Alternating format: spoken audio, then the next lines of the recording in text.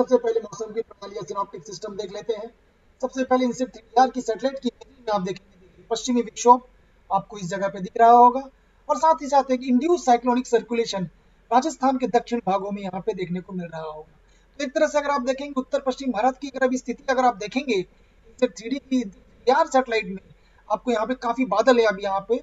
आपको देखने को हम कह सकते हैं, हल्के मध्यम बादल एक तरह से आप देख सकते हैं। पूरे उत्तर पश्चिम भारत की तरफ़ यहाँ पे अभी रहे हैं। और पश्चिमी विक्षोभ के आने से और ये धीरे धीरे जब ये पूर्व दिशा की ओर ये आने के लिए आगे आएगा, और ये मॉइस्चर आप देख सकते हैं देखिए। अरब सागर से एक तरह से उत्तर पश्चिम भारत की ओर यहाँ पे आगे जा रहे हैं। तो इस तरह से यहाँ पे जो स्थिति अभी अब उत्तर पश्चिम भारत की, और खासकर उत्तर भारत की अगर हम बात करें या पश्चिमी हिमालय क्षेत्र की बात करें, मुख्य रूप से अगले दो दिनों के दौरान भारी बारिश और उत्तर पश्चिम भारत के मैदानी इलाकों में बारिश की गतिविधि मिल सकती है। हालाँकि बर्फबारी की स्थिति आप पश्चिमी हिमालय क्षेत्र में आने वाले दो दिनों के दौरान देखने को मिल सकती है। 27 जनवरी की रात से एक नया पश्चिमी विक्षोभ एक और यहाँ पे प्रभावित कर सकता है, जो फिर से एक तरह से पश्चिमी हिमालय क्षेत्र या उत्तर पश्चिम भारत को प्रभावित करने आ रहा है। मुख्य रूप से 27 तारीख की रात से लगभग ये प्रभावित हो सकता है। दक्षिण प्रायद्वीप की बात कर ले, यहाँ पे क्लाउड के समूह, एक तरह से बादलों के समूह है और साइक्लोनिक सर्कुलेशन भी यहाँ पे बना हुआ है। अगर हम बात करें हमारी वेधशालाओं में जो दर्ज हुआ है, जो न्यूनतम तापमान है, लगभग छह से दस डिग्री सेल्सियस के बीच रहा है। पंजाब, हरियाणा, चंडीगढ़, पश्चिमी राजस्थान, कुछ भाग राजस्थान के पूर्वी भाग, उत्तर प्रदेश के भाग। कोहरे की बात कर लें, अगर हम घने कोहरे राजस्थान के कुछ जगहों में, पूर्वी मध्य प्रदेश में, बिहार गंगडी बंगाल में देखे, हम बात कर रहे हैं पिछले 24 घंटों के दौरान हल्की मध्यम वर्षा और एक तरह से बर्फबारी जम्मू कश्मीर, हिमाचल प्रदेश, उत्तराखंड में भी देखने को मिली हल्की वर्षा, हालाँकि पंजाब, हरियाणा, चंडीगढ़ राजस्थान, मध्य प्रदेश के पश्चिमी भाग केरला, माहे में भी देखे गए हैं।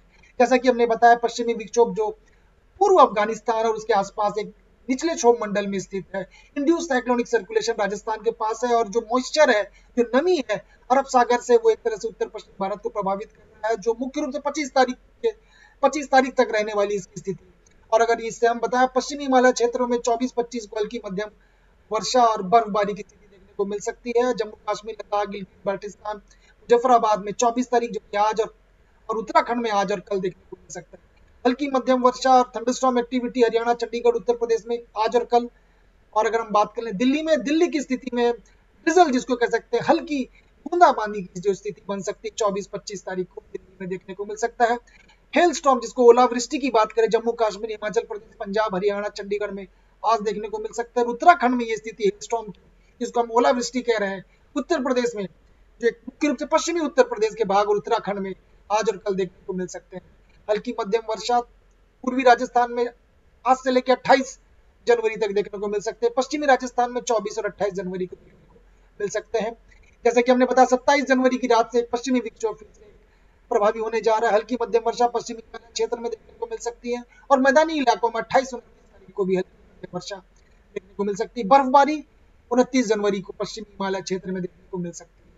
न्यूनतम तापमान की बात कर ले, हालाँकि कोई महत्वपूर्ण बदलाव नहीं देखने को मिलेगा 26 जनवरी तक, लेकिन उसके बाद थोड़े से बदलाव दो से तीन डिग्री की गिरावट, लेकिन उसके बाद फिर से तीन से पाँच डिग्री की बढ़ोतरी देखने को मिल सकती है उत्तर पश्चिम भारत में। अगर हम बात कर ले न्यूनतम तापमान गुजरात में, कोई महत्वपूर्ण बदलाव नहीं तक, उसके बाद इसमें दो से तीन डिग्री सेल्सियस की बढ़ोतरी देखने को मिल सकती है। और अगर हम बात कर ले संपूर्ण भारत की महत्वपूर्ण बदलाव देखने को नहीं मिलेंगे चार से पाँच के हमारे पाँच दिनों के पूर्वानुमान कल एक बार फिर से हम आपके सामने उपस्थित रहेंगे प्रसाद पोलजी फॉर हेरल्ड TV.